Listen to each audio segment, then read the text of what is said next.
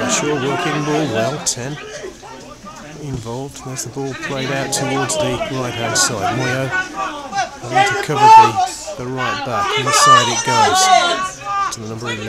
11. Plays it inside, but that's easily won. And there's a chance for Glasgow. Uh, surely that's a foul. what? And the number nine's in with a chance now, surely. Giving him an opportunity to shoot. And he's hit it wide.